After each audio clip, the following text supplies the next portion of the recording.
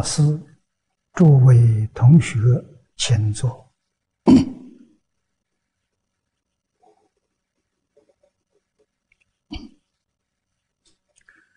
请看《修华严奥旨望境还原观》第十六面第二行。我们将文念一遍。二者，观人极怕绝于之，为无印无主，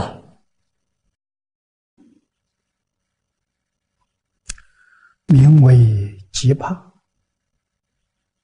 空寂无求。名为绝欲，故云：观人极怕绝于之。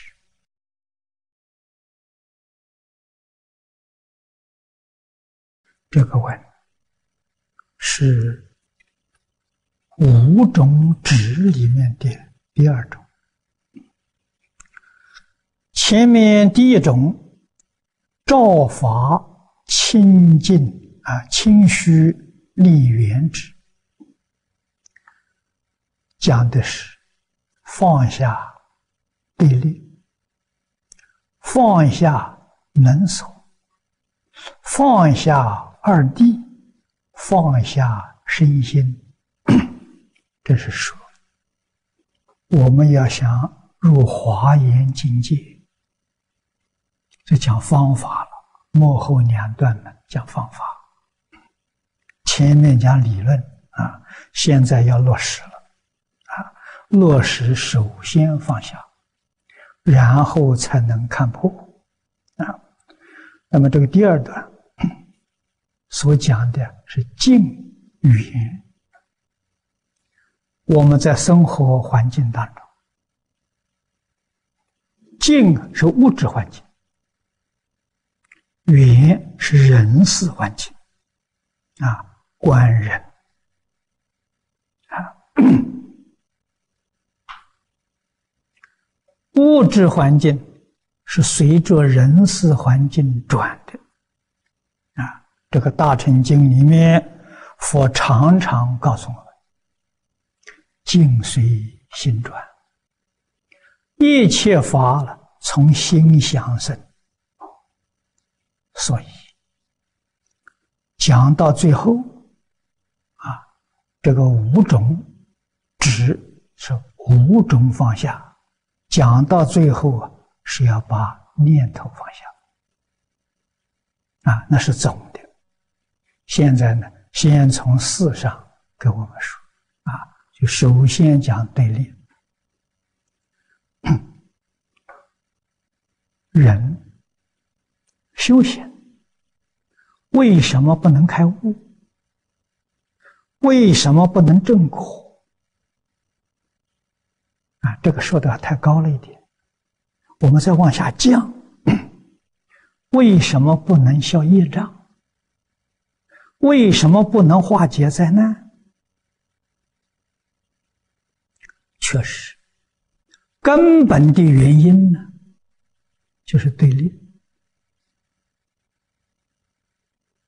啊，对立是用现代的名词，佛法的名词叫边界，边是两边，啊，我跟人的两边，啊，理跟事的又是两边，啊，两边就对立了。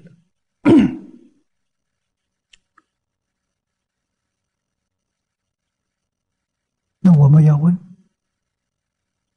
宇宙之间是不是对立的？不是的。啊，我们从前面理论上一直学习到这个地方，啊，我们就很清楚、很明白，宇宙是一体。啊，你看在第一段，自信清净圆明体呀。体是一啊，一就是道啊，一就是佛啊，也就是神呐，也就是真主啊。中国古大德，这道家所说的啊，太极，太极是一，生二仪，二仪生四象，四象生八卦，八卦生万物，啊，这是道家讲宇宙的发展。啊，古圣也有这种说法，说道生一。一生二，三二生三，三生万物。啊，那我们在华严经上看到了。啊，你看，邪一体，其二用。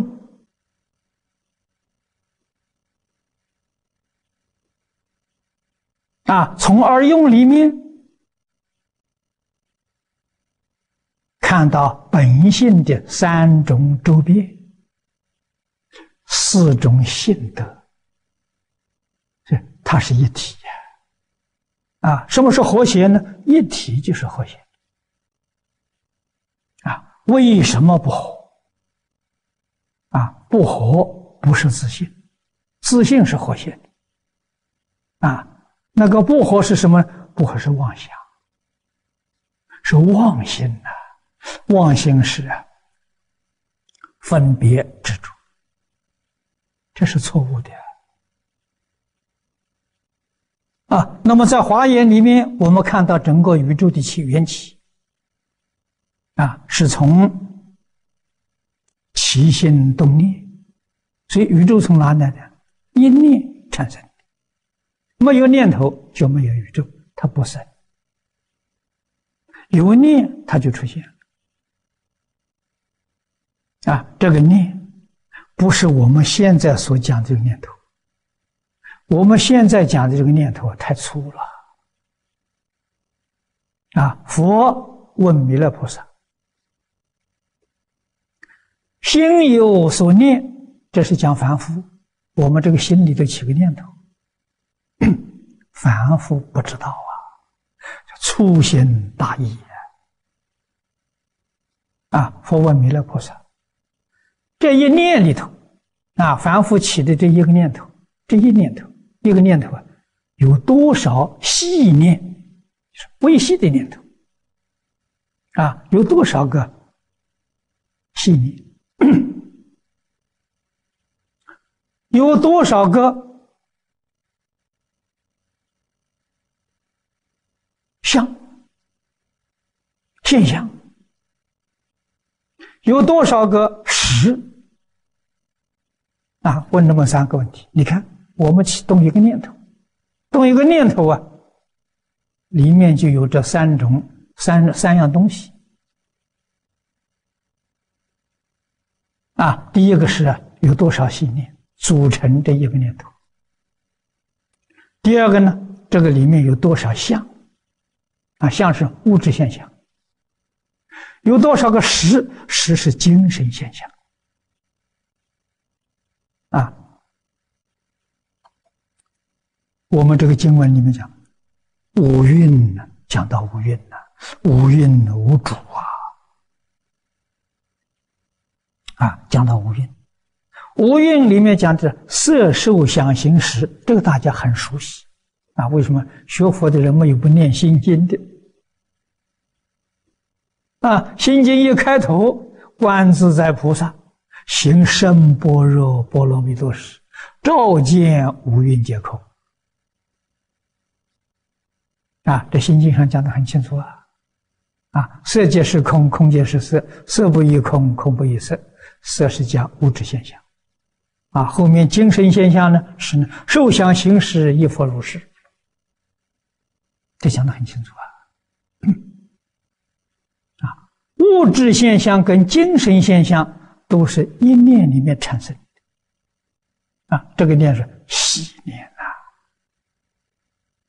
啊！弥勒菩萨回答释迦牟尼佛，实际上释迦牟尼佛是带我们问的，那弥勒菩萨把事实真相告诉我们：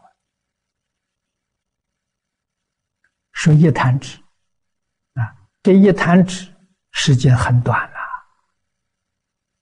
了，啊，一弹指有三十二亿八千年，那我们怎么会知道？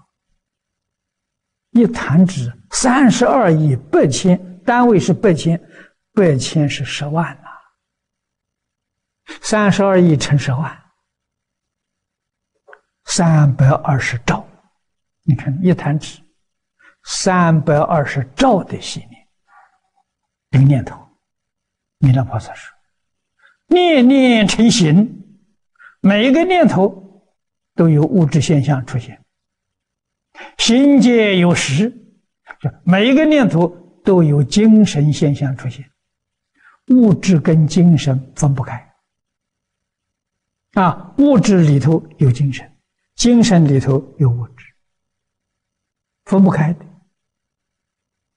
存在的时间多长呢？我们现在用秒做单位啊，我们弹指，大概一秒钟可以弹四次。啊，你把三百二十兆乘四，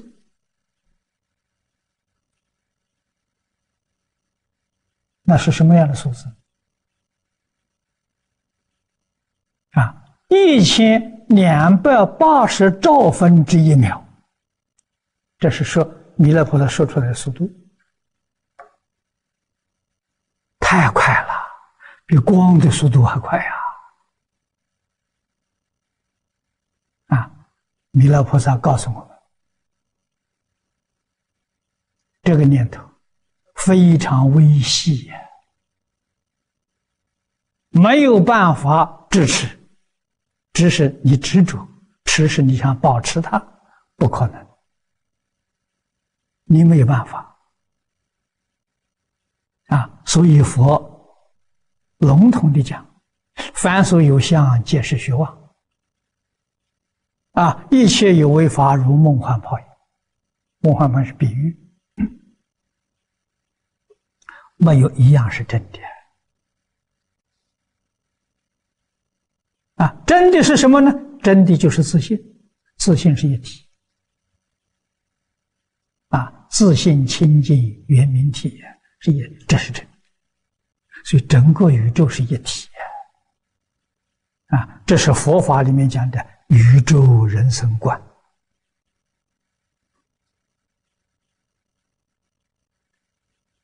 啊，自信本来是真诚的。本来是清净的，本来是平等的，啊，本来是慈悲的，叫信德，啊，自信本具的，那现在全没有了，啊，谁把我们搅和成这个样子呢？妄想、分别、执着，啊，这三样东西叫妄心。不是真心啊，也叫妄念啊，三种都属于妄念啊。起心动念是微细的妄念，分别是粗重的妄念，执着是最重的妄念啊。大乘教里面讲的多好啊，没有起心动念就没有宇宙。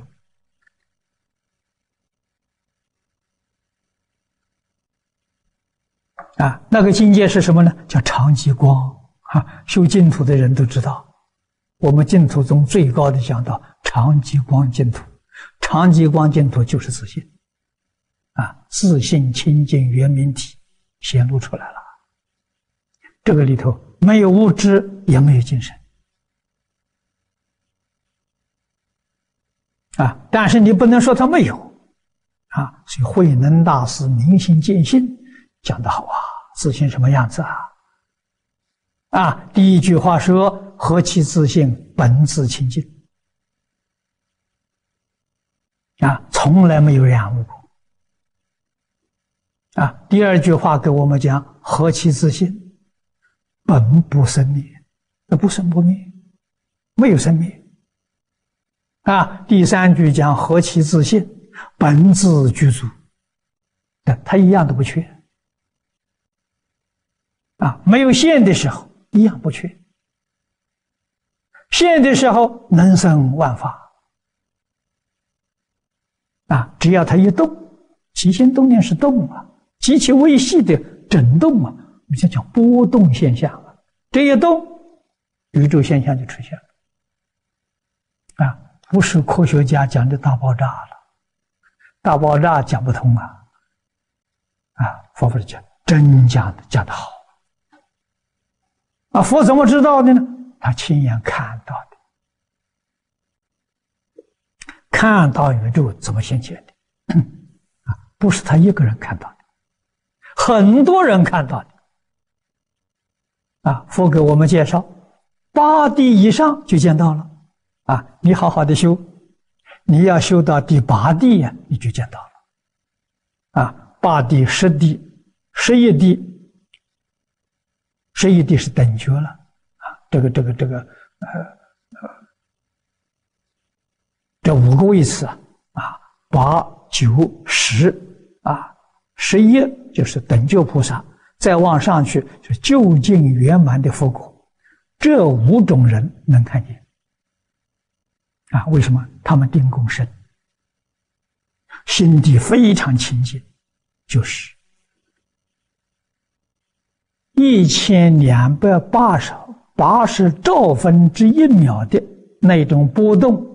他能感觉到，八地菩萨感觉到，感觉到他就能看到，所以他能看到宇宙的起源，这是限量境界，这不是比量啊，啊，不是从理论上推推想的，不是，是亲眼看到的，啊，我们好好的修，啊，不是要成佛吗？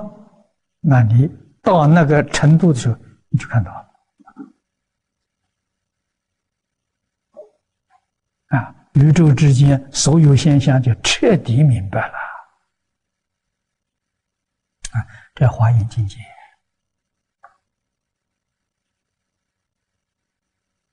啊，这个太高了。那怎么入门呢？入门，这今天这一段文就是告诉我们入门。你看，首先放下身见，首先。要放下对立，啊，身见什么？执着身是我，这错误的，身不是我，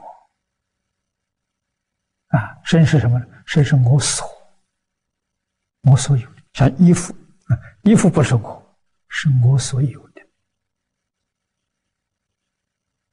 啊，佛告诉我们，身体也不是我，我永恒不灭，不生不灭。衣服会坏呀，啊，穿个几年就不行，就坏掉了，换一件的。身体也是一样，使用个几十年不好使用了，啊，这个机器也不好使用了，换一个。啊，就这他不是我嘛？啊，我说，你看人见见真正见到我，我不生不灭啊，啊，换个身体。有功夫的人，也就是心地清净的人，啊，不生烦恼的人，他换换身体，他随意自在，他想换什么就能换什么，啊，我们现在没办法，我们现在叫什么？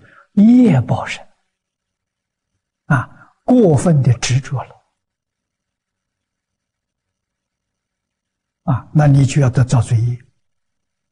罪业造的越重，你换的衣服越换越差。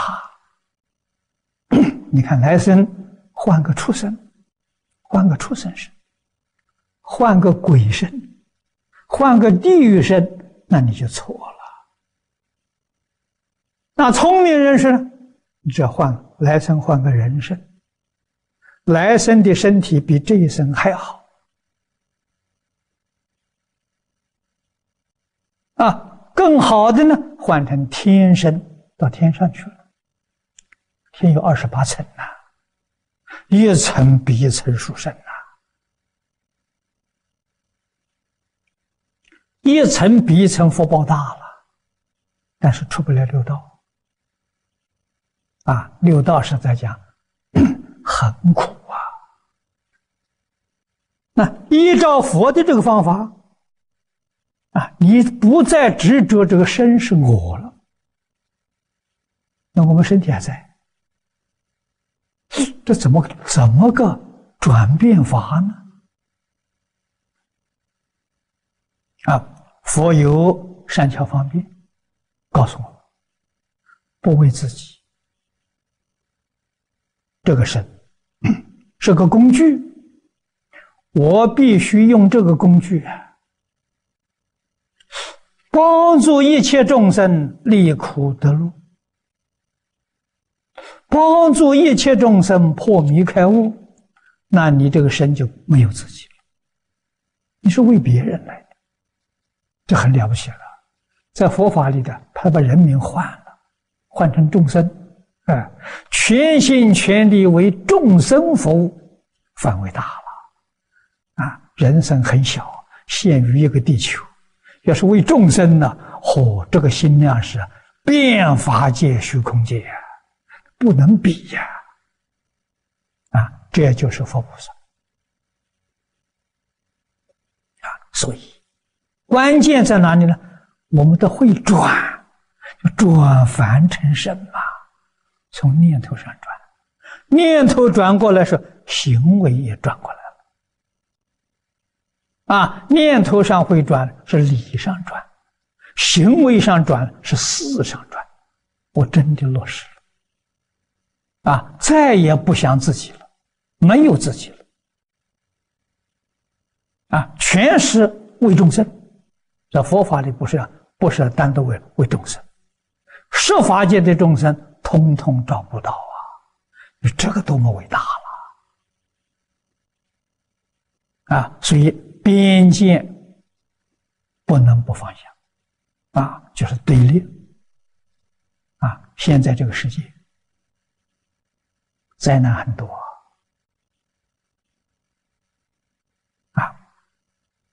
印光大师告诉我们啊，我们现在呢。越来越感觉，啊，感觉到啊，这一位老人，他老人家的教诲，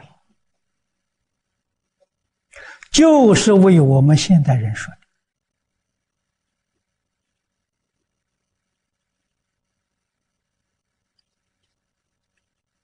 我没有见过他，啊，虽然我出生了。这个老人还在世间啊，他大概是民国二十八年过世，在抗战期间当中。啊，我出生在民国十六年，那个时候，印光大师住在普陀山。啊，晚年。住在苏州楞严山寺。啊，楞严山寺的官房，我去参拜过。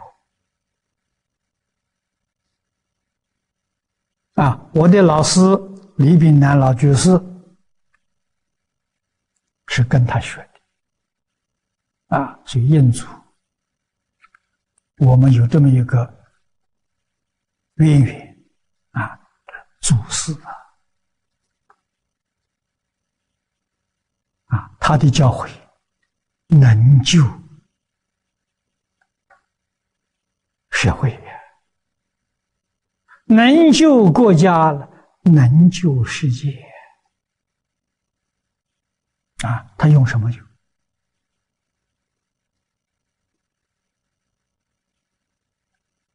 啊，我们揭露了一小段。世乱已极，无可救药。有志之士，何人做事？啊，这个世乱已急，无药可救这八个字，印祖。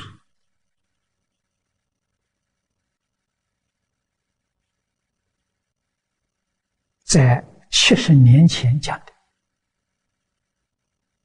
七十年前那个社会还不错啊。他怎么说出这八个字？这八个字在今天来说，那是完全正确。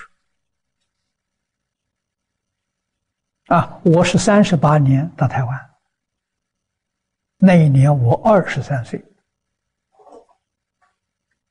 啊，六十年前了，今年九十八年了，啊，我们到台湾，台湾社会非常好啊，人心淳朴啊，啊，这个小岛的居民和睦相处啊。真的看到互相尊重、互相敬爱、互相关怀、互助合作，这是六十年前我们亲眼见到的。为什么世风日下？啊，我们十年、十年来说，一个十年比不上一个十年。啊，今天是第六个十年，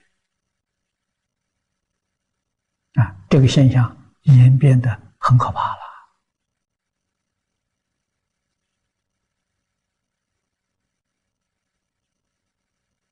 啊，我有一个朋友，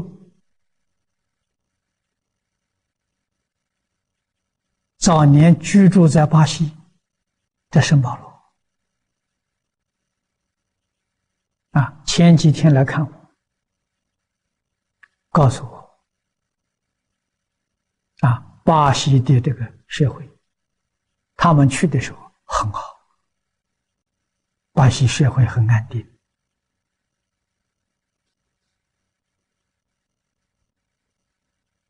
啊，那个时候跟我也有联系，希望我去访问，一直我都没有时间。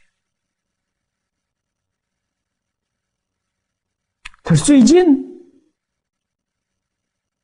这个十几年呢不一样了，社会动乱，啊，到处有抢劫，啊，这抢劫还算不错，啊，他只要钱，钱给他就没事，不伤害人。最近十年，也就是说，两千年以后。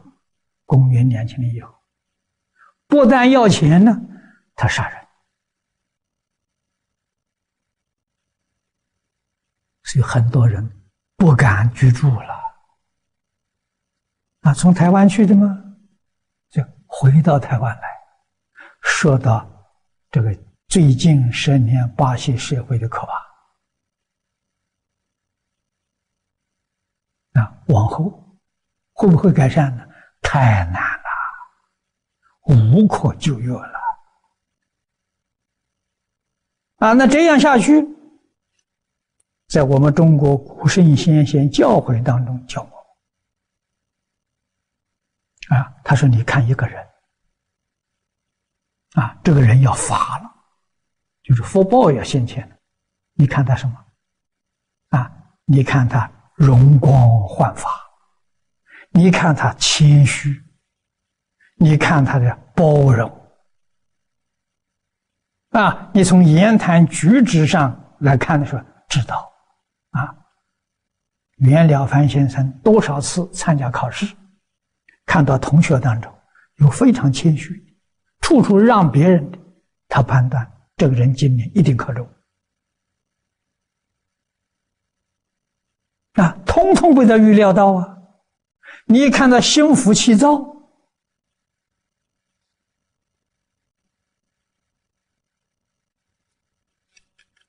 啊，这个自私自利、傲慢自大，决定考取。他自己也有这些毛病习气，他考很多次，前面都没有考取啊，啊，每一次他都参加，最后被他考中。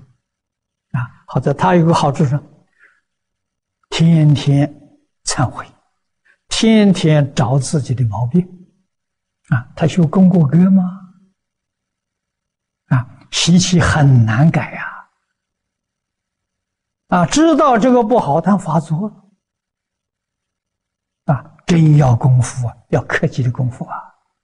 看一个家庭的兴衰，你看这一个家活不活？啊，这个家人与人之相处，啊，尊卑上下，啊，你看他的礼节，啊，互相敬爱，啊，互相关怀，互相照顾，家和万事兴。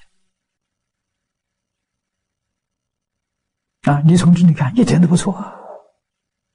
啊，那个家要衰败的时候，家人不和，真的叫父不父，子不死。啊，现在这种家庭很多啊，啊，做父母的不知道怎样教儿女，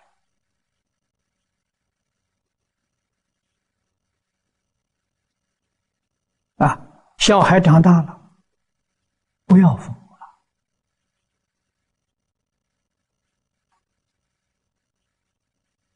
啊。不养父母了，不敬父母了，这人会有前途？不会有前途。啊！你看家，你看一个团体，啊，然后你再看社会，看一个国家，再看世界，你就明白了。啊，是乱，它为什么乱呢？教育没有了，就乱了。中国这个社会，这个国家，几千年来长治久安。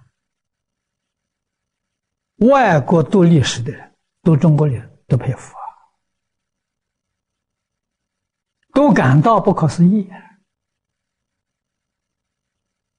啊，我们多次参加联合国的和平会议，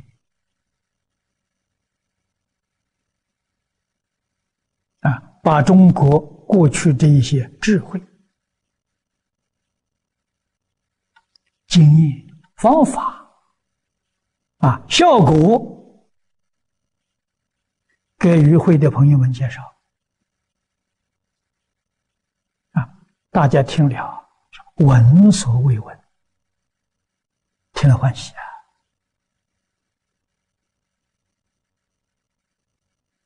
啊！啊，可是最后发现呢他们又怀疑啊。会后我们在一起吃饭，在一起聊天啊，很多人问我：“这法师，你讲的很好，这是理想，这不能落实啊。”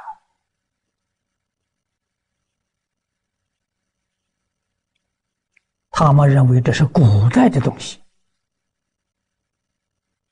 啊，不适合现代社会。那么现代社会还就得让它乱下去了，乱到最后，西方人说，西方宗教也说，世界末日，世界走向毁灭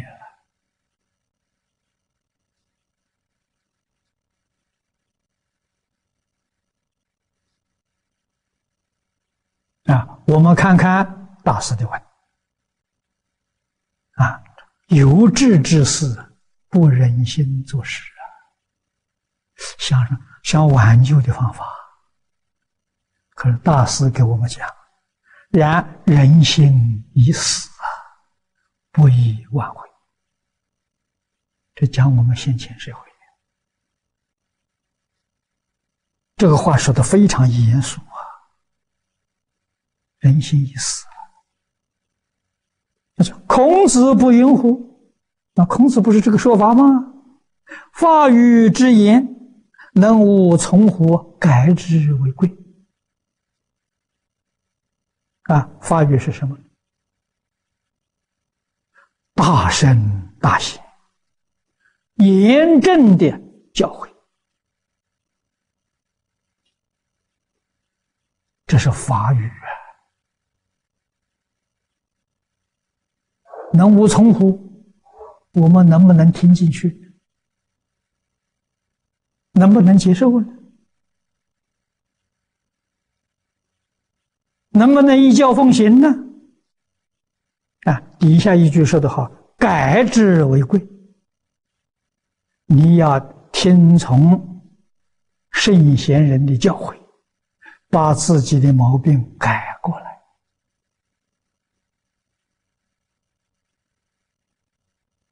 这就行了，就有救了。啊，你不改就没救啊。训于之言，能无悦乎？义之为贵呀！啊，训于是训于是柔顺、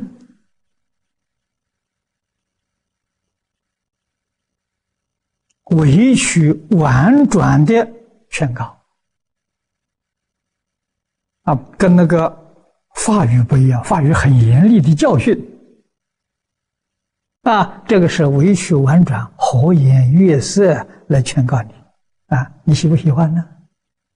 啊，这人很喜欢听的，啊，义之为贵，啊，义是什么呢？认真去研究，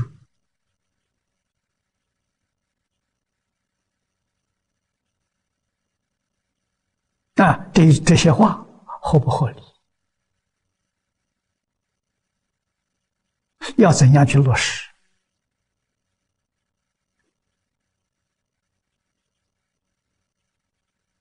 这行啊，这个、这个、这个能收到效果啊。如果是悦而不易，从而不改，吾未如之何也已矣！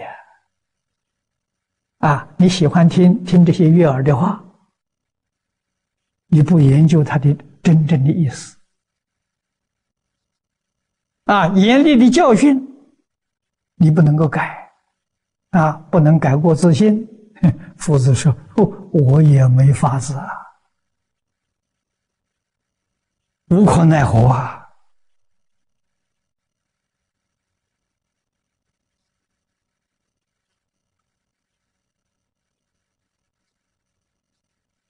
老法师。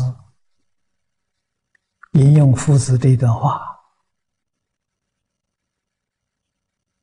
用意很深呐，确实针对着我们现实社会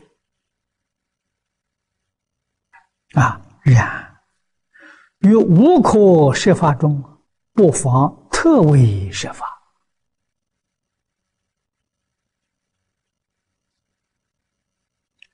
以世道之乱，人性之死，在于不讲因果，不讲家庭教育。这是大事，把病因说出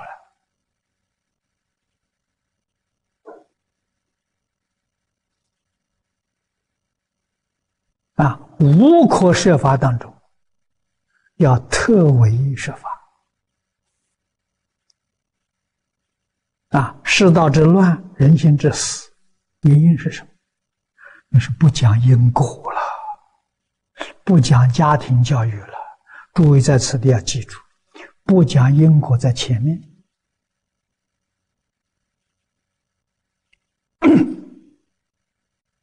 啊，我们这些年来，在中国大陆，啊，推行。传统伦理文化啊，推动儒家《弟子规》的教学，家庭教育啊，因为现在大陆一般啊，不只是大陆，在整个世界都是一样。不讲因果。啊，不能接受。啊，认为宗教是迷信，啊，因果不符合科学，科学会把这个世界带向末日，因果能够拯救这个世界，让大家回头。啊，这个就是我们认真的要看待因果教育。啊，中国自古以来扎的是三个根，两千多来佛教到中国，啊，儒家的根，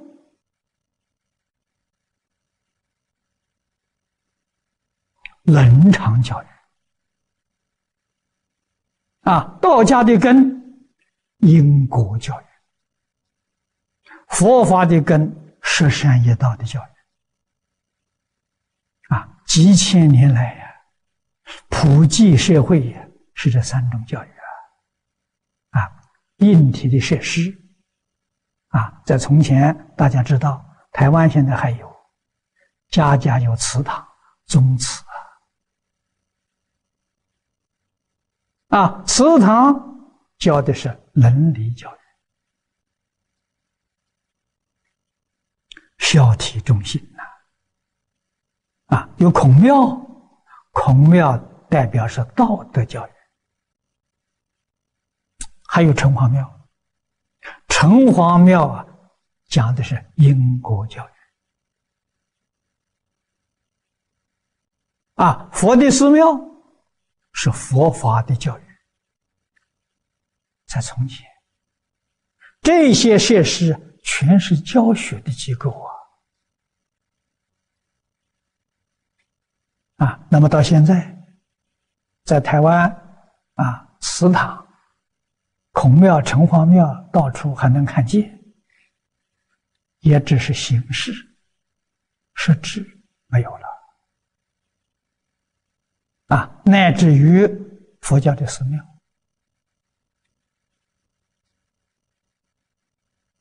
啊，也就是我们一般讲贬值了，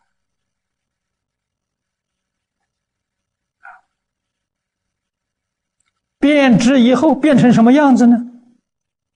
变成世乱已久，人心已死，变成这个样子。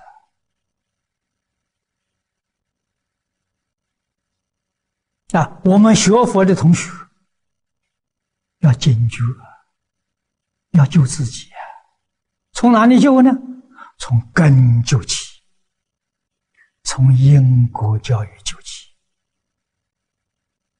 啊，深信因果，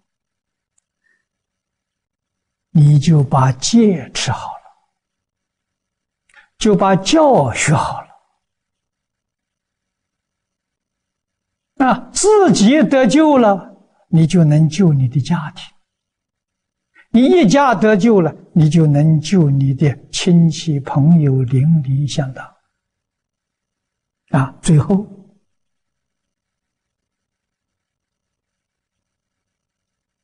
你功德大，福报大，你救了社会，救了国家，救了世界。从我就做起，从我心做起，要痛下决心啊！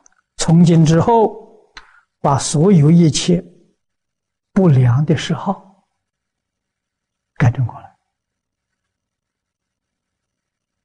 啊！不良的嗜好里头最重要的，浪费时间。浪费你的生命，啊！你这一天二十四小时干些什么？啊，干些都是不重要的东西，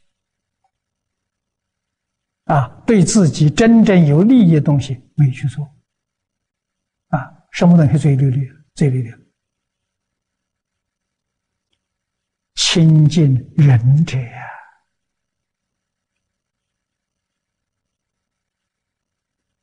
弟子规》里面讲的，能亲人无限好啊，得日进，过日少啊。啊，仁慈的人啊，仁慈的人在哪里呀？经书就是仁慈的。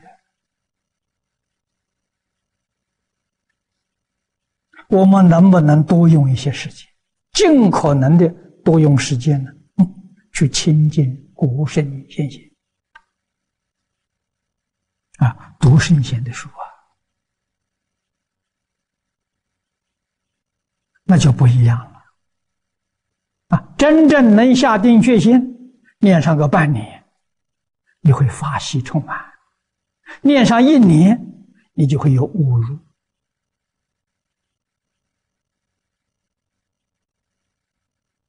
啊，一天，人心已死了，起死回生，一天不能少过四个小时。读经就是亲近圣贤，一天能有八个小时最好了，啊，那个效果就非常明显。啊，从哪里入门呢？可以从听光碟入门。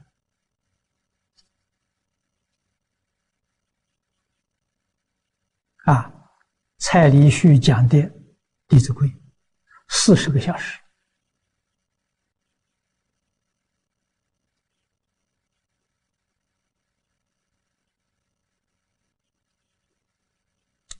一天听六个小时，一个星期听一遍，一个月听四遍，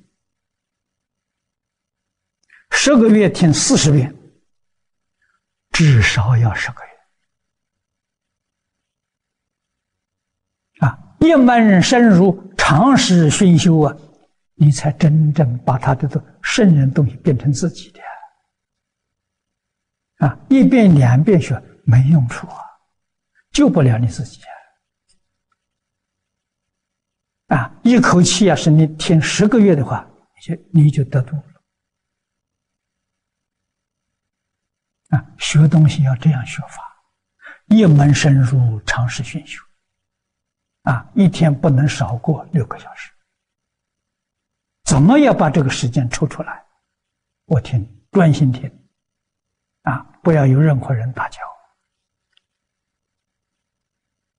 啊，《弟子规》听完十遍，啊，一遍四十个小时，听干一遍。我们都有光碟，听十善业道。啊，都像这个方法。这三样东西啊，再加一个了凡四训，四样东西用多少时间呢？三年啊，三年完成啊，三年把什么东西都放下啊，除念佛之外啊，早晚课念一遍《弥陀经》，念阿弥陀佛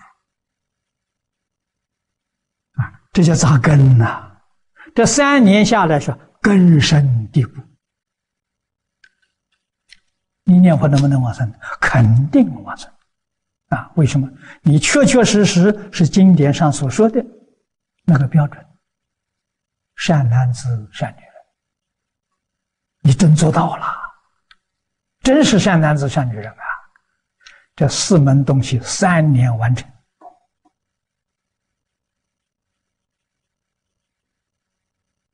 啊，要不从这上做呢，那你就不能扎根。啊，你要想把已死的心再把它复苏起来，难了，不容易啊！啊，有了根，啊，然后无论是儒是道是是是是是佛，或者是其他宗教，啊，你有一种信仰，你能够在一部经典上。一门深入，长时熏修，十年，你会开悟啊？为什么呢？一门深入，这是持戒啊，长时熏修啊，你是在修定啊。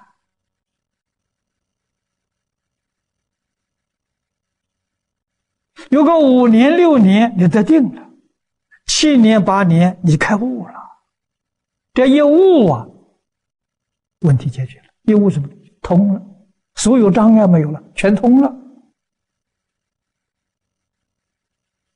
然后你要想博览群经，可以啊，任何典籍你只要看一遍，意思全部通达。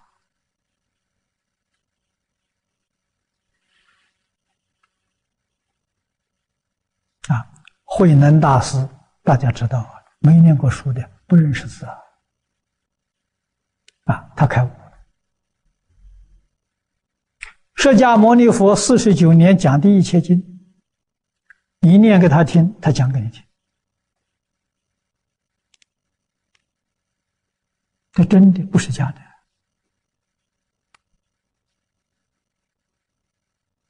啊，为什么通了？不但佛法通了，世间法都通了。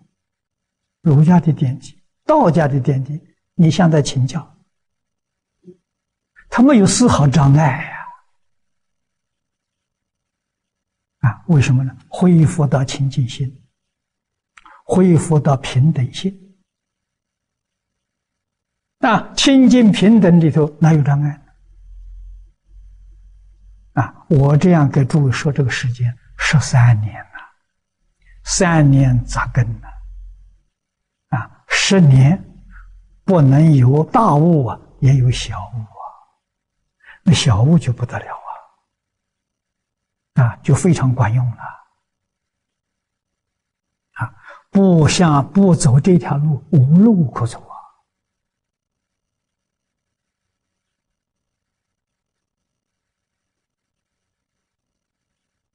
这条路只有在中国有啊。在外国找不到啊！啊，中国人确实得天独厚啊，古圣先贤很多啊，身为中国人多么幸运啊！我们把祖宗东西丢掉了，罪人。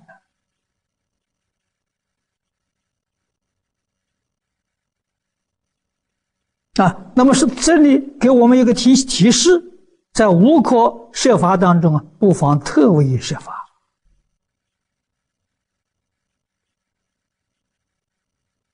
我在早年啊，二十几岁的时候，亲近方东梅先生，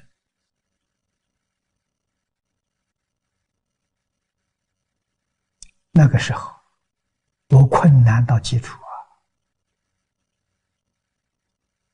啊，仅仅能维持自己生饱啊，这温饱啊一无所有啊！啊，老师的怜悯啊，不不要收学费，跟他学习啊。当时他就告诉我，有卫星啊，那个时候还没有卫星，黑白电视。他说：“电视媒体不能轻视，这个东西将来对社会会产生极大的影响。啊，可以拯救社会，也可以毁灭社会。啊，他就提醒我：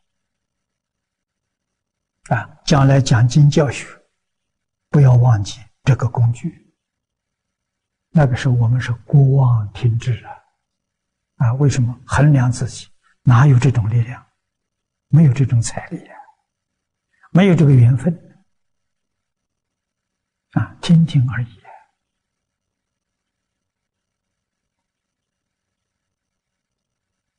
啊。三年前，我在马来西亚讲经。前首相马哈蒂长老也跟我谈过这个问题啊。现在科技进步了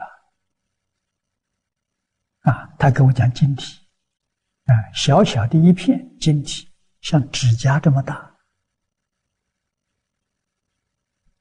里面可以含藏大量的资讯。它是这个东西，可以毁灭世界，也能拯救世界。看人怎么用法啊！用在自私自利上，世界就毁灭了；啊，用在利益众生上，那你就拯救世界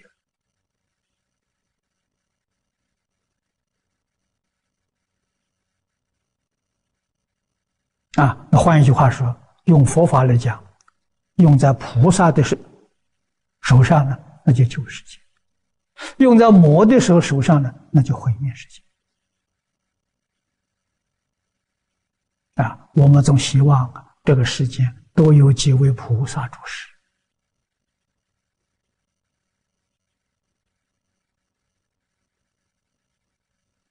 这就讲特别说法了。啊，我们要想方法。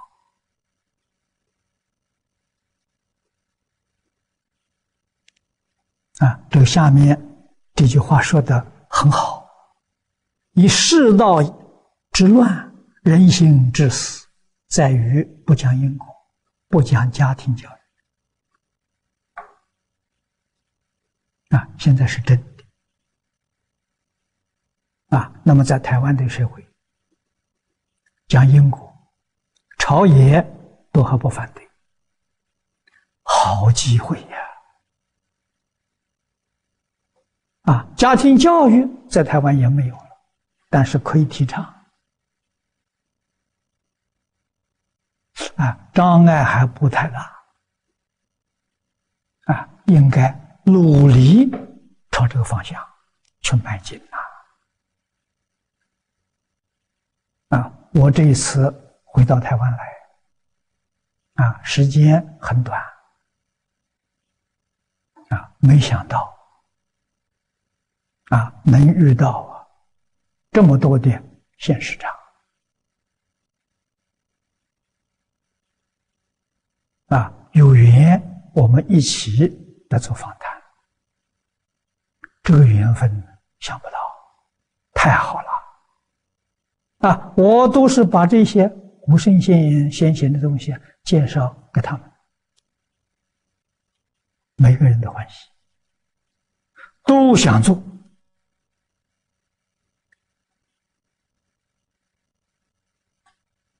啊，我们在中国做了一个汤池，做了事业。啊，现在很多人都知道，啊，台湾的朋友很多人曾经到那边去学习过，啊，也很想在台湾做，好事。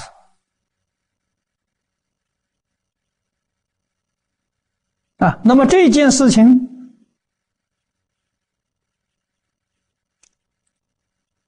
能做做出成绩出来，成败关键在老师。老师要真正是菩萨，要真正懂得因果。啊，佛三净业三福里面讲的身心因果。啊，舍己为人。啊，我活在这个世间来干什么的？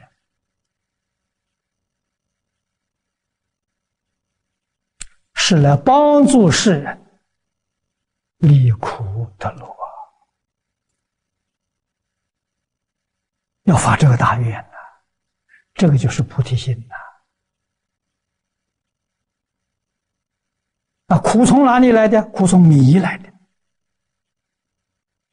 现在是因果迷了，道德迷了，伦理迷了，伦理迷了。人跟人的关系不知道啊，父子关系都不知道，这个可悲啊！我听胡小林的一个报告啊，他说他们公司的有个员工。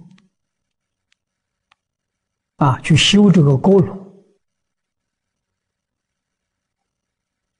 啊，到一个人家，啊，敲门，因为年轻人开门，他们的员工都学《弟子规》，都懂得礼貌，啊，给这个年轻人深深的一鞠躬，年轻人理都不理他。啊，问他炉锅放什么地方，他也不说话，嘴巴一转，好像叫你去看找那个人，嗯，他的爸爸。啊，和老人出来了，很客气，接待他，告诉他炉锅在厨房。啊，修完之后，啊，换了零件，啊，那当然要要给他给主人呢。讲解啊，为什么换这个零件？啊，说明了啊，看到这个年轻人在看电视，啊，腿靠在架在这个沙沙发手背上，那个态度很难看啊，就就像他，他也是不理，把嘴巴一撇，叫老头。啊，然后这个这个这个这个员工修完时候是就给这个老人说，他说这个是不是你儿子？老人点点头。这员工说：“那你要好好教他，他不懂事。”啊，老头点点头。员工 送他一套《弟子规》的。光碟送给这老先生，啊，这就离开了。老先生过了几天打电话给他的这个公司，啊，汇通公司，非常感谢。看了这个光碟之后，才晓得他一生呢没有把小孩教好，变成这个样子。老的时候感到没有依靠，啊，他小孩怎么教的呢？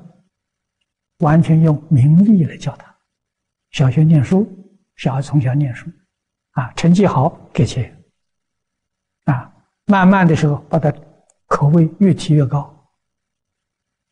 啊，不懂得孝顺父，根本不懂得父子的关系，这糟不糟糕？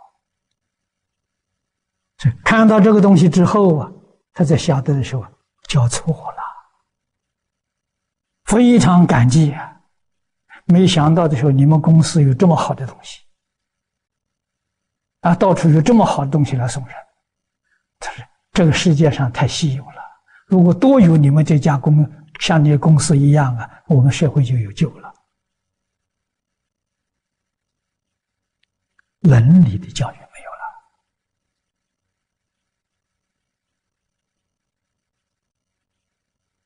了啊，那道德教育更谈不上了。啊，我们现在这一代还有一些老人，啊，有这么一点影响力，支撑这个社会。这些老人在过去了，底下一代怎么办？你就想到这个问题多严重，想到这个后果多可怕。啊，所以今天中华传统伦理道德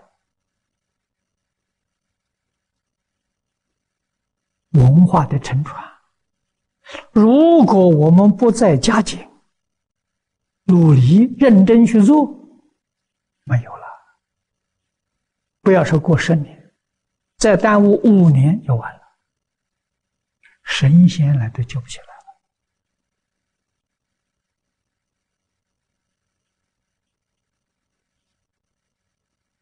啊！如果有这种机缘，全心全力去做，不为自己，为拯救社会，为把已死的这个人心啊，慢慢把它复苏醒过来，起死回生呢？啊，这是什么事业？这是什么样的功德？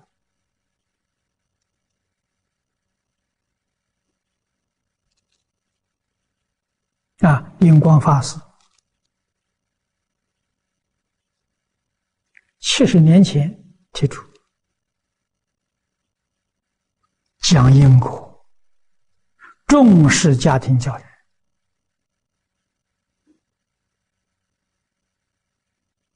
啊，他老人家讲啊，故能注重此二事，则人人知因果，家家有教育。一切法语训言，君臣家常便饭，无一人肯一日立者，这社会就有救了。啊，真的从已死就醒悟，醒过清醒过来就复苏了。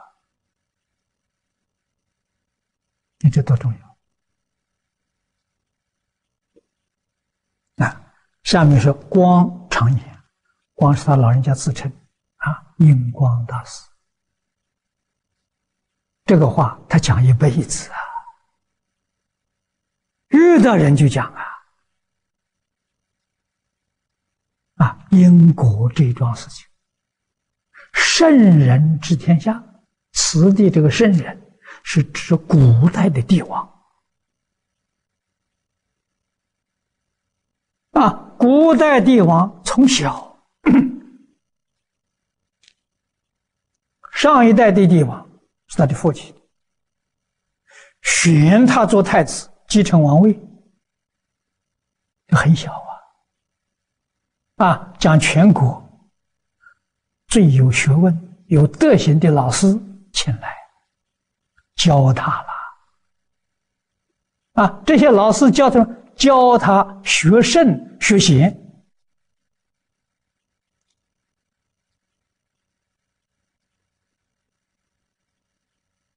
啊，所以称他为圣人，称他为圣王。啊，他公下达的这个文件啊，这个这个命令，称之为圣旨。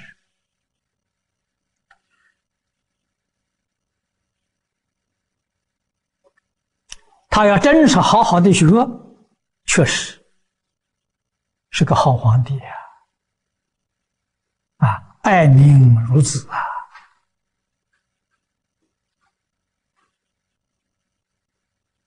啊，真的把国国家治好了，用什么治？用教育。啊，建国军民，教学为先啊！啊，他懂得教育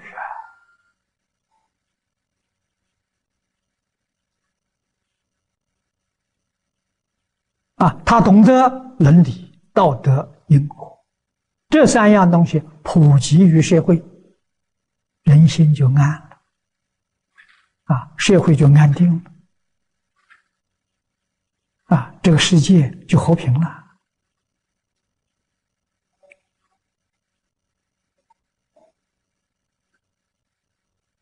啊，过中国几千年长治久安，就这么个道理。啊，皇帝好，底下有班子接班人多好，那是文武百官，他们的子弟，优秀的子弟啊，陪着太子叫陪读，那就是什么？培养底下一个小朝廷啊。皇帝一过世了，下面一接班啊，底下这些人接班，顺理成章，不乱呐。跟现在不一样啊！啊，所以圣人治天下了，佛度众生之大权啊！佛要度一切众生，讲什么？讲因果。你不讲因果，你度不了众生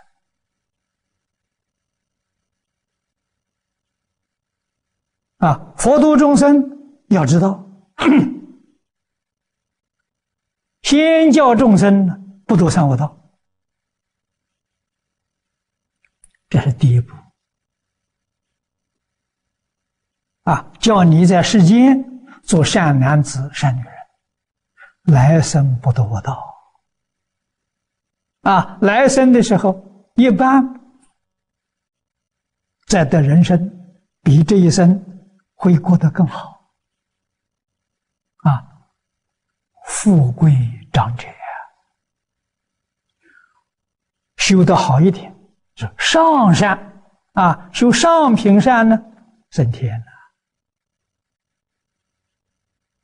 啊！再向上提升的，那是少数人，就不是多数人。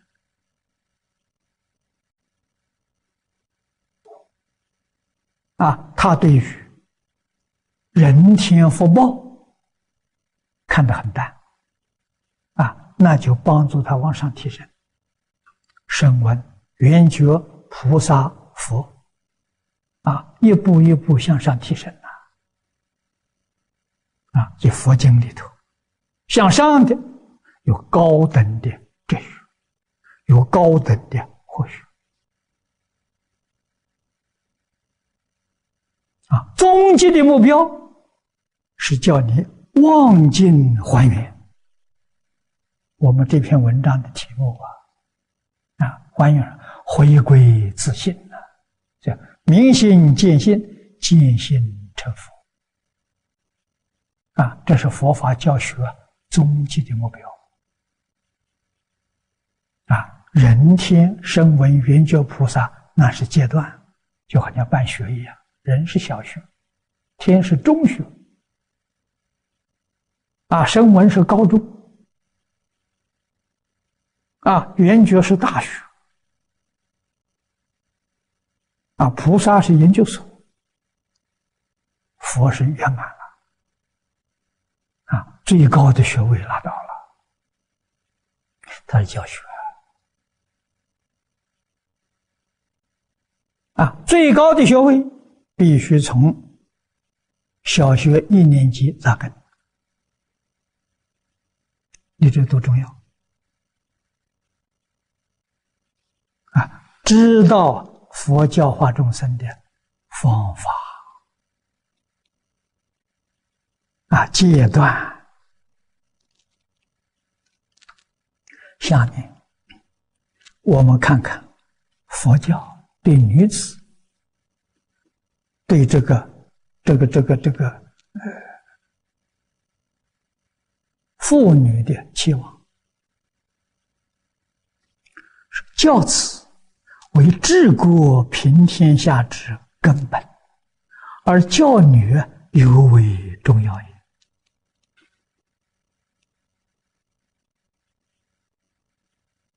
啊，这不但是佛教，中国古圣先贤呢。跟佛这个理念完全相同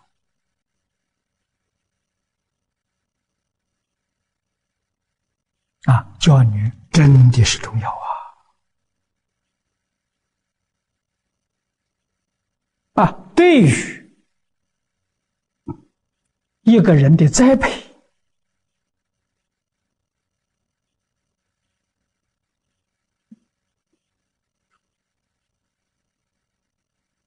扎根教育是从什么从什么时候啊？从胎教啊，母亲怀孕的时候，思想言行就要端庄啊，心情要温和啊，真正去修忍辱波罗蜜啊，不烦恼。啊，不烦不恼，不怨不恨，啊，不发脾气，心平气和。为什么呢？养胎儿啊，让胎儿在先天得正气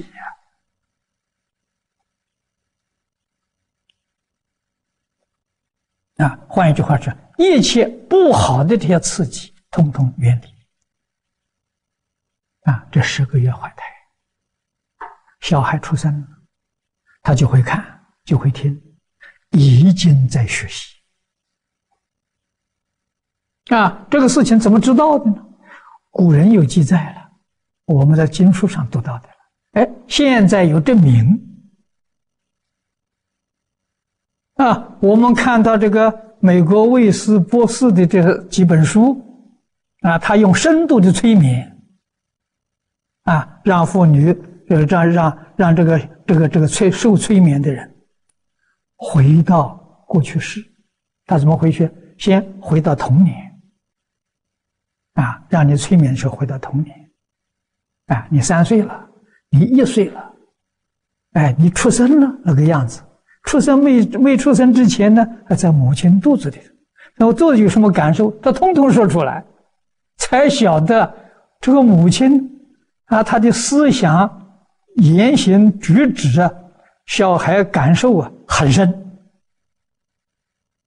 啊，从催眠里面知道，啊，胎儿在胎胞里面的感受，都在学习。中国人讲这个胎教大有道理呀！啊，那个时候没有这种这这这种技术的时候，我们老祖宗都知道。啊，所以从一出生到三岁这一千天扎根教育。啊，这个教育谁教的呢？母亲，那母亲使命多么重要！啊，这个小孩是圣人是贤人还是凡夫，全在母亲。啊，母亲要调教的好，小孩就圣贤。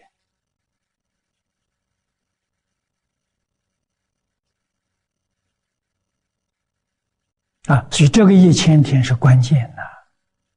少成若天性。习惯成自然，啊，所以小孩出生，啊，在小孩的面前，母亲的时间最多。任何一个人接触小孩，都要端庄，不能随便，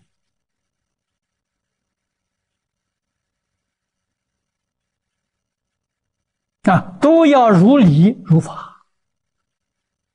啊，让小孩看到的、听到的、接触到的，全是伦理道德。这个根，他自然种下去了。所以中国谚语有所谓“三岁看八十，七岁看终身”，有道理呀。这两句话在现在讲不行了，不不讲不通了。古时候那个讲得通。那，他三三岁这一千天扎的根，根深蒂固，到八十岁都不会变根，都不会改变。你这个力量多大？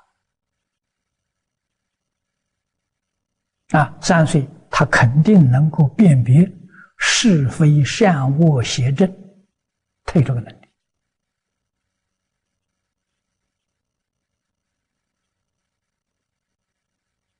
啊，然后再教学上学，上学是老师教。啊，老师怎么教法呢？老师跟他母亲教法一样，以身作则。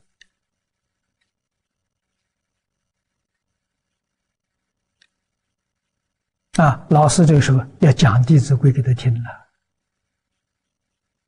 要教他依教奉行了，要讲感应篇了。啊，读诵圣贤的典籍啊，那些东西太高深了啊，他年岁还小，只教他背，不必讲啊。讲什么呢？讲因果报应的故事，小孩又喜欢听啊。从小啊，善因善果，恶因恶报。这些道理、事实真相，灌输给小孩啊！他受过这种教育，他一生不敢做坏事啊！不但不敢做坏事，不会有恶念。为什么呢？知道有因果报应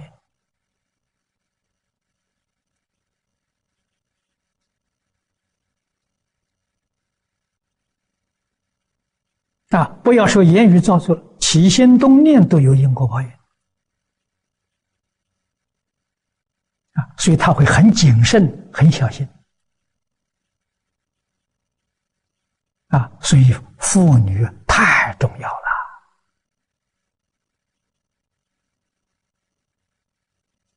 啊！一有贤女，方有贤夫贤母，贤母所生之儿女皆为贤人。此三太之所以姓周，而为而后世称女人为太太之来源也。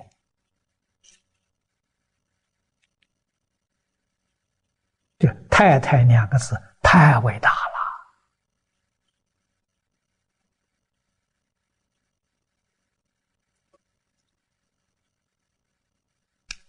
啊！所以。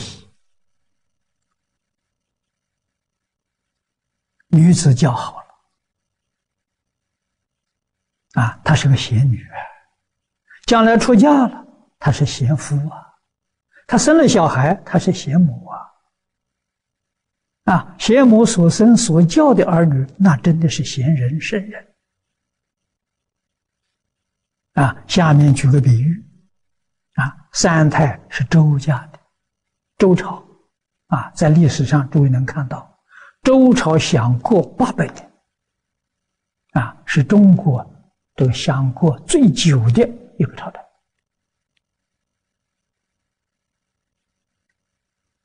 那大福报啊，享过八百年了。啊，他为什么会有这么大福报呢？啊，祖宗好，祖宗是圣人，文王是圣人。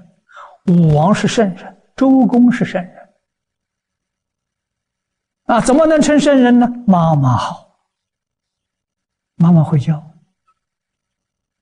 啊，周文王的祖母叫太姜，他的母亲叫太任，他自己的妃子叫太姒，所以这三代呀，名号上都有一个“太”字。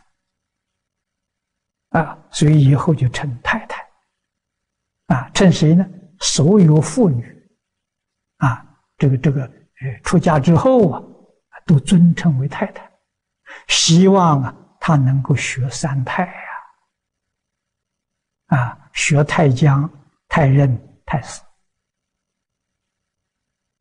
啊，养的小孩的时候都是大圣人，孔子一生当中。对于文武周公啊，佩服到基础啊，啊，仰慕到基础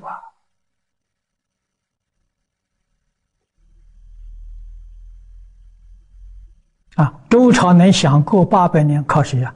靠这三个太太，这三太，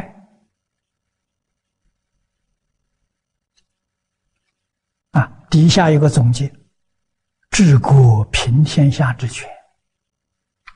女人操得一大半啊，该以母教为本也。啊，换一句话说，哪一个国家族群对于妇女轻视了，他这个族群决定会亡国，啊，绝不可能兴旺。啊，为什么呢？没有家庭教育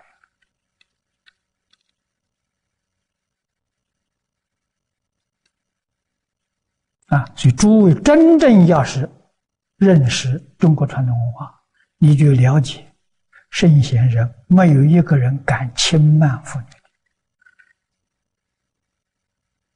啊，妇女的责任太大啊，在五伦里头，夫妇有别，结婚之后。夫妻两个组成一个家庭，任务不一样啊！啊，家庭里面两大任务啊！啊，过去组织家庭，组织家庭为什么？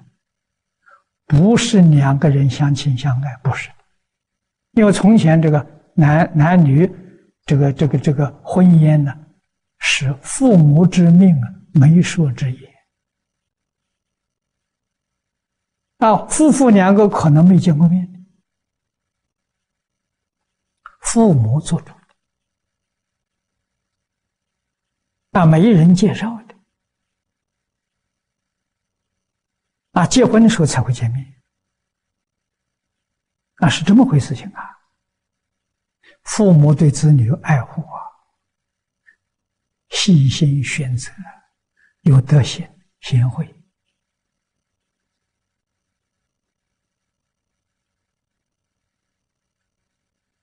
啊。结合之后是为什么呢？为传宗接代。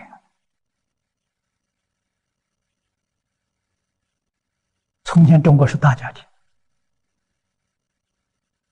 啊，小孩生下来之后，到他长成人，他的一生为什么？为家庭，为荣宗耀祖，为这个家家道啊，家学家业，绵绵不断的往下承传。这是中国人的家的概念呢，跟现在人完全不一样。现在人不懂了，啊，所以古代夫妇一结合，很少听说离婚的，没这种道理啊，没这种道理，那那不全破坏了啊？所以真的是共甘苦啊，同患难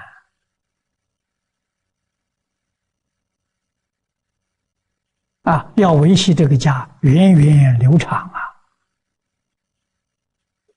中国人重视家谱，家谱是家庭历史，你能够晓得世代的沉船，你怎么能不爱这个家？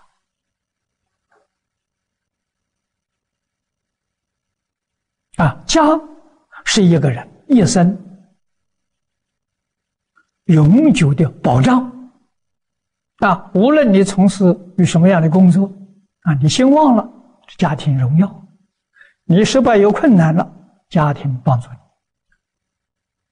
啊，小家庭教育你啊，你父母没能力教育，家族教啊。老的时候年老了啊，你的你自己的儿女或者是原地工作不能照顾，家族照顾你，所以不怕老啊，老享福啊，家族大家庭啊，你看那个儿孙那个晚辈多少，这些天伦之乐。啊，这是外国人连做梦都想不到的。啊，老越老越受尊重，啊，家人尊重你，社会尊重你，不是现在越老越可怜了。啊，社会遗弃你，家人也不要你，你看多可怜。啊，所以中国这个社会是个非常完美的社会。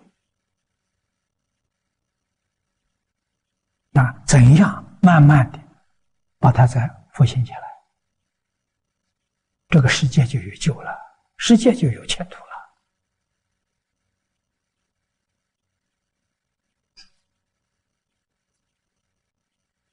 啊，那么今天我们生生长在这一个大时代里头，啊，遇到的是世乱已极，人心已死，祖师七十年前讲的话。完全兑现了啊！我们今天要挽救这个世界啊！我从零六年参加巴黎联合国会议之后，我顺便访问了伦敦啊！从法国我们坐火车到英。啊，我还记得很清楚，海峡的隧道，火车走了二十五分钟。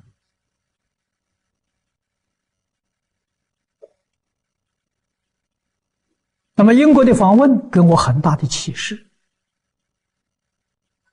啊，那一次我就看了剑桥跟伦敦大学。啊，前一年我在英国访问牛津大学。啊，这是世界上。研究汉学的中心，最好的学校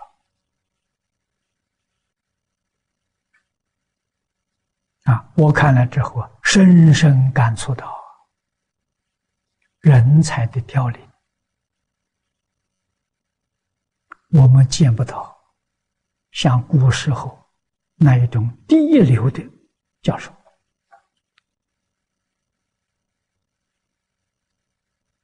啊，我们不能怪学校，因为汉学它的根在中国。中国没有一流的老师，外国人怎么可能有？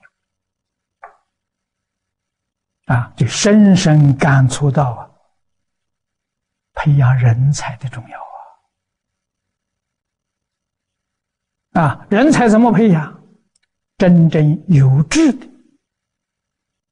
这些年轻人，有志好学，啊，有品德有修养。只要我们提供环境，啊，一个安定的环境，啊，就像从前的家一样，啊，从前家学叫私塾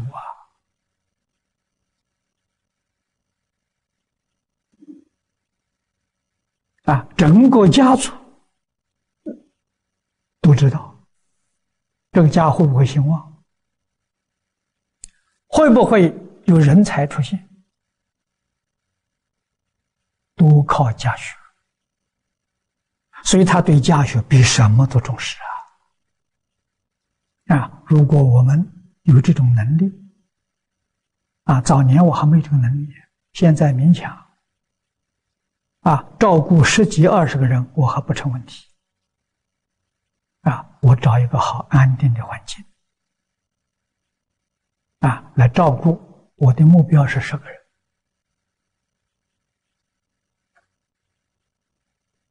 啊，让他在这个小环境里面读十年书，一门深入啊。但是条件必须要落实三个根：出家人还得加一个沙弥律仪，四个根啊。真的做到了，啊！我们希望十个人能不能找到十个？难，太难，太难了，啊！有一个算一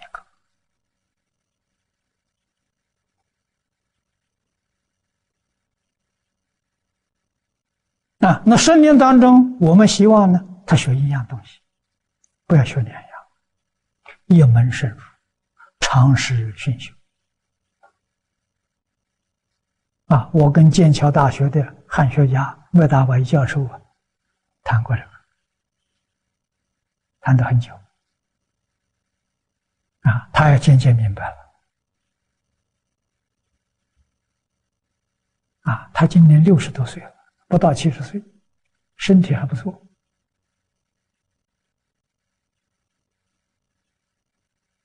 啊，那我们要有这个种学术研究机构啊，我还想请他来。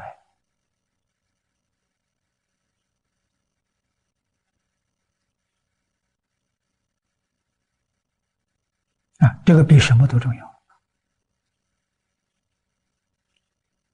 那么第二种方法呢，就是举办各种传统文化论坛。啊，像现在在中国大陆，啊，许多企业家论坛这一类的，时间短。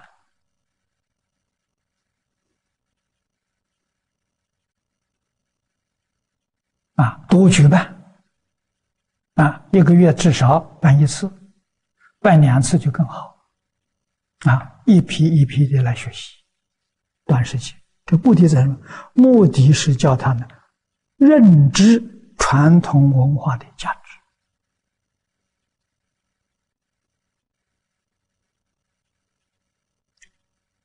传统文化的优秀。你才能够自救、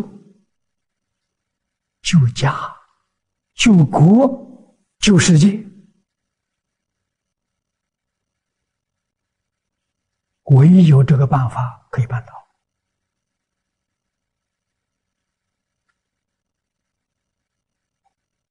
啊！那么这种论坛，把它录成光碟，可以经常不断的播放。啊能够将来有一个频道，电视频道，专门报道这个，啊，大家看多了，警觉性就起来了，啊，再一对照自己的家庭、自己的公司啊，自己的行业，你去反省，他就会改进。这个对社会的贡献非常非常大。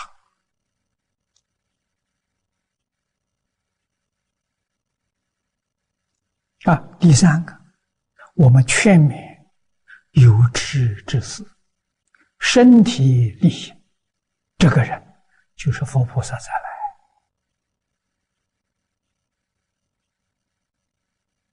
来。啊，先他到这个论坛里面来做义工。慢慢熏修久了，他就能讲。啊，他能做到，做到他就能讲。啊，一定讲的很生动。为什么呢？他讲的是自己改过自新的经验，破迷开悟、离苦得乐的修学，现身说法了。啊，大陆上胡小林就是属于这一类。啊，真干，一点都不含糊，做的很彻底。啊，所以他在外面讲，都讲他自己的故事，非常感人，没有一个不欢喜听他讲演。啊，他不是讲经，他不是传教，讲他自己怎样改过自新。啊，家庭。转变了，事业兴旺了啊！连他公司每一个员工在社会上都受到人尊重啊，感到荣荣耀啊！啊，这是什么传统文化？传统文化表现出来了，做出来了。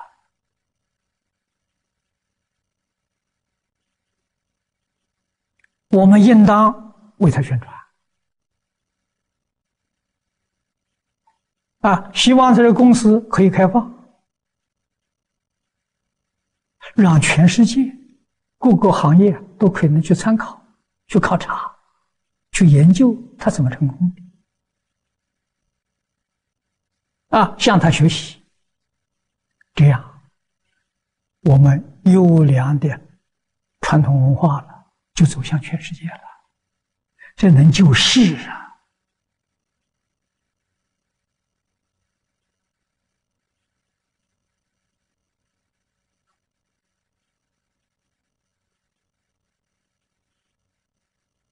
啊，那么这是印光大师给我们简单的介绍，这个这个这个教导。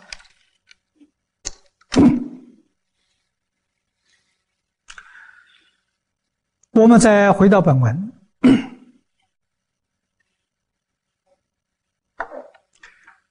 这一段里头，教导我们放下境缘。啊，境是物质环境，缘是人事环境。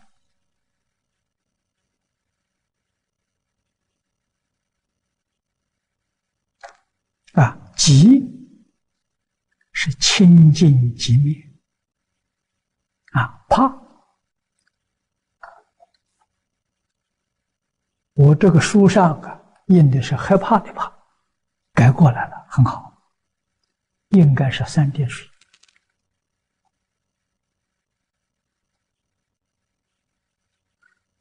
这个怕是停怕，啊，我们的小船靠了码头了，啊，要停怕。啊，我们的车，你看香港人就讲怕车，设计停车场就怕车，啊，这是停的意思，啊，怕是停的意思。绝欲啊，把欲望放下来呀，啊，这个欲望对人的欲望，啊，对人人情的这种欲望，对事的欲望。啊，对环境的欲望，对环境适可而止，决定不能纵欲。啊，纵欲付出的代价太大了。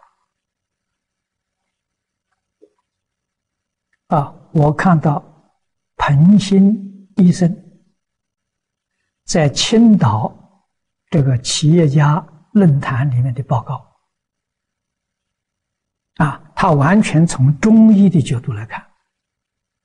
啊，他举了一个例子，一个年轻的企业家，三十多岁，得了重病。啊，那么这个年轻企业家呢，在大陆上还是非常优秀的。啊，国家选出来的尖端人才，事业很成功，很有钱。啊，于是，在生活上就放纵。啊，他告诉彭新医生，好像是半年当中啊，换了三个女人。啊，彭新告诉告诉他，跟他诊断的时候，纵欲过度。啊，你得的这个病是要命的病，没有办法救的。啊，他给他开了药，告诉他，你真正想。才能活下去。一年到两年，决定不能有放肆。啊，他不相信他的话，啊，没照做，他就预给他预期给他讲：如果你还还是像以前一样纵欲，你六个月，可是你的两个腿会发麻，你这个这个脚底啊。会会发凉，啊，就是你脚底是冷的，你这个腿是麻的，会有这种现象出现出现。哎，结果他一三个月之后打电话给彭彭彭医生，说你讲的这个征兆啊，我现在已经有了，说怎么办？嗯，没法子，没救了，好像三十几岁就过世。啊，那么这在佛法里面讲，乐尽人亡。啊，他有寿命，啊，应该是七八十岁的寿命，七八十岁那种福报，啊，正常去享受那种福报，他三十年把它用光了，不知道惜福！中国人讲惜福是太大的教诲呀。真实的教诲呀，啊，在饮食方面，啊，要节俭，啊，我们读古人的这些典籍，啊，我们看到范仲淹，他是一个贫穷出身，做到宰相。做到元帅，出将入相啊！我们印光大师最佩服的历史上两个人物，第一个是孔子，第二个范仲淹啊！做那么大的官，国家给他的俸禄多啊，他养了三百多。这个贫寒的人啊，养三百多家了，办义学啊，自己的生活一生都过着穷秀才的生活，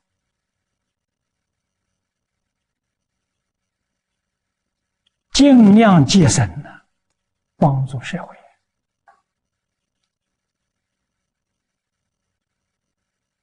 啊，真不容易啊！啊，那真的善有善报啊！他的儿孙里面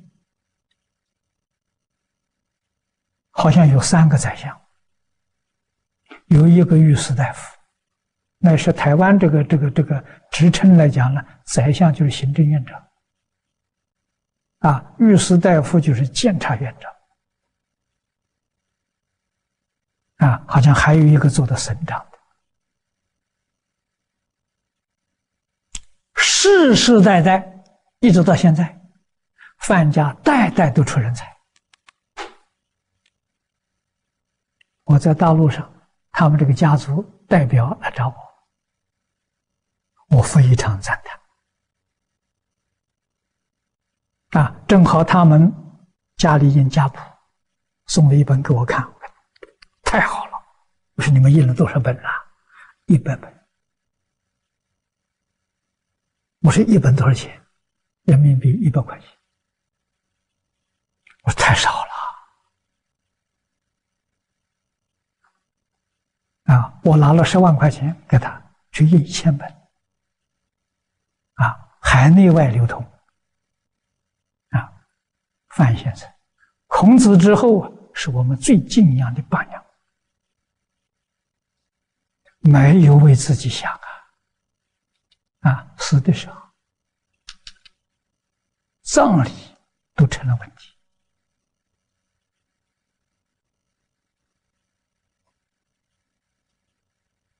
啊，一生为社会、为国家办义学，为国家培养人才，没有想到自己。啊！可是从英国那上讲来说，那个国宝太殊胜了，在中国历史，在全世界，范家确实仅次于孔家。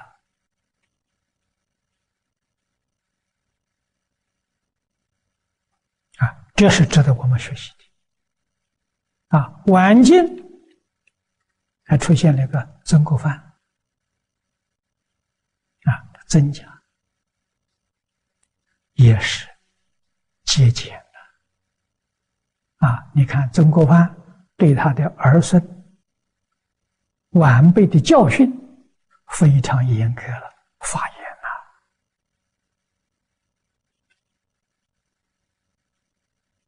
了啊，官做的很大，家里佣人很多，可是儿女自己生活都要自理。不能让别人带走，他限制很严啊，着重于礼节、规矩啊，要求很严格啊，对人就是对晚辈、对家里佣人都有礼貌。啊，都表现的谦卑、尊重别人，传统文化在他家里都落实了。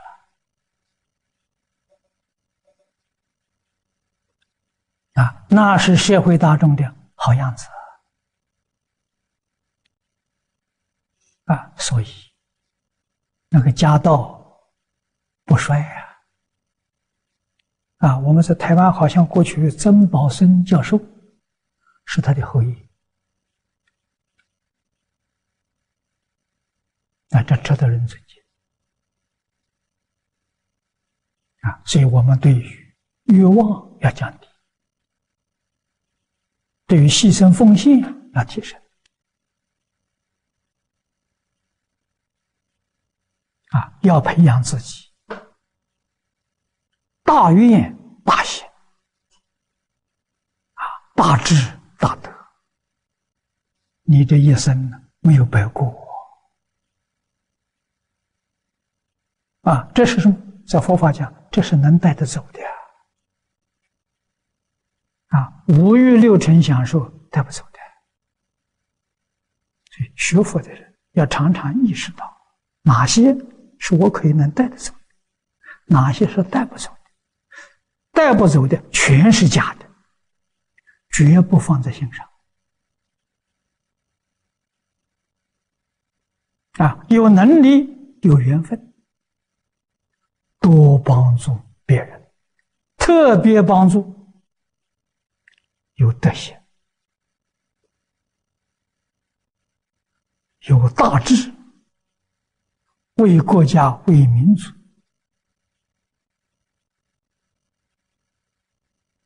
传宗接代的这些人啊，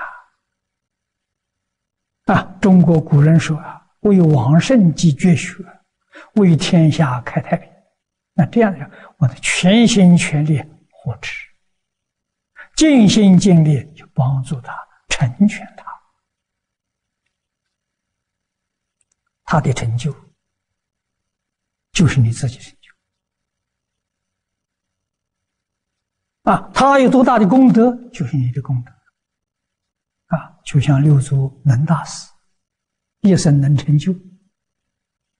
啊，谁帮助他的？印宗啊！印宗真了不起啊！那个时候他是岭南，就是广东这一带佛教领袖，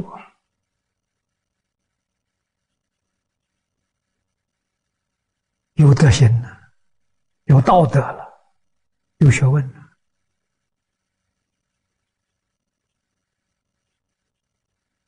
啊，岭南一带的佛教没有不尊重他的。啊，遇到慧能大师，啊，知道从黄梅得法隐居这么多年，遇到了。啊，慧能大师拜他为师，他给他剃度、剃头。啊，剃头完了之后。他倒过来拜慧能为老师，所以印宗是慧能的剃度师。啊，慧能是印宗的和尚，传法的老师，这个人心量多大？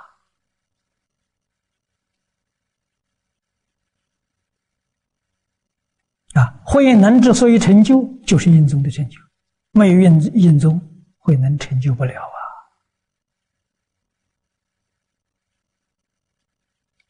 水涨船高啊！啊，慧能的声望是被印宗一手捧起来的，的抬举啊，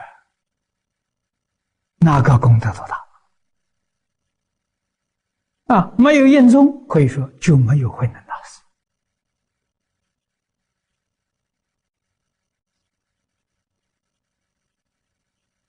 啊，印宗是慧能，这个这个，呃，这个能大师是印宗成就的，这个我们要知道。今天时间到了，我们就学习到这里。